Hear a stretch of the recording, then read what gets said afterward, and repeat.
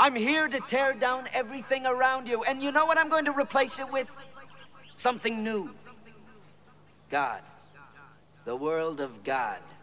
So take your bread and give it to the poor. What difference does it matter what you own? You have gold and silver, it's going to rot. And that rot is going to eat away your heart. All of you. There will be a flood and there will be a fire. Everything will be destroyed, but there will be a new ark riding on that fire. And I hold the keys and I open the door and I decide who goes in and who doesn't.